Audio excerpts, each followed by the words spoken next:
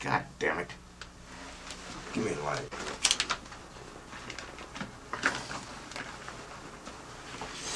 Listen, I got this idea.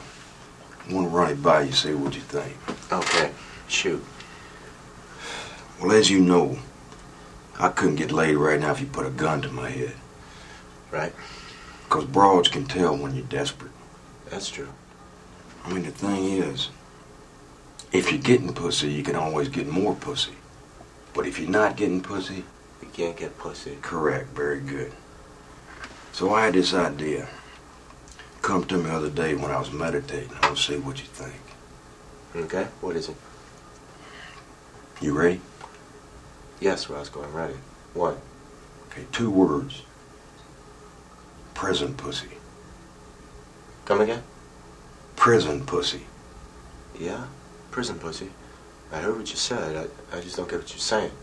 Well, chicks in prison, man. In your minimum security facilities, they get congenital rights. Conjugal. I, I think it's conjugal. Whatever, man, just stay with me. All right. See, what I'm thinking is that this would be the perfect way to get laid. You got no headaches, no cash outlay. You don't bullshit them. You don't buy them dinner. You just go into a room for like an hour and fuck, see? It's a perfect date. Now, the thing is, I don't want to end up with no hardened criminal bitch.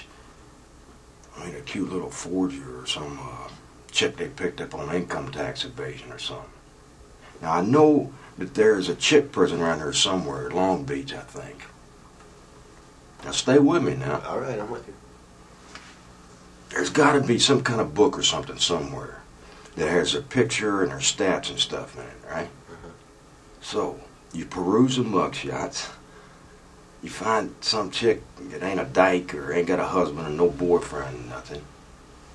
You crank out a few letters, and then bam, you end like Flint.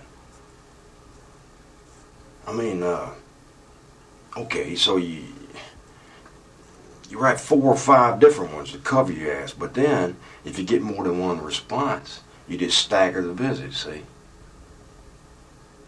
What do you think? I don't know, Roscoe. It's, it's pretty far out there, man.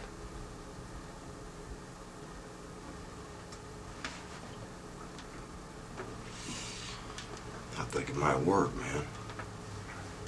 I'm a desperate man. Yeah, I get that.